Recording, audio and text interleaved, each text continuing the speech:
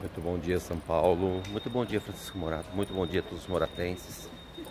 A todos os trabalhadores que nessa manhã de, de sexta-feira, né? Último dia aí da semana, né? Forte abraço a todos os trabalhadores. Tenham todos um ótimo final de semana. E mais uma semana aí, né? Que construímos esse país aí. Estamos construindo. E é graças a nós, trabalhadores, que fazemos com que o Brasil, São Paulo é, e todo o nosso povo se eleva a um patamar aí, né, de reconhecimento nacional e internacional.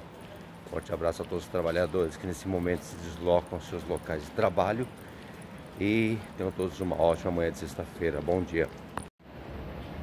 Nessa manhã de sexta-feira, os trens estão correndo normalmente aqui entre a cidade de Francisco Morato e a capital e o interior do estado de São Paulo.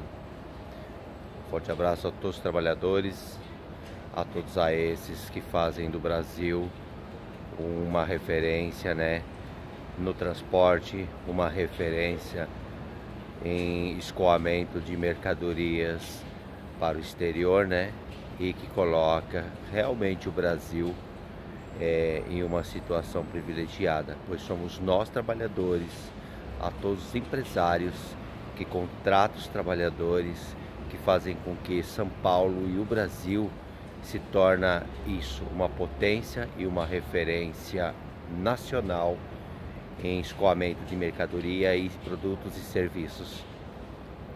E são a esses que eu desejo aí uma ótima manhã de, de sexta-feira, e um ótimo final de semana.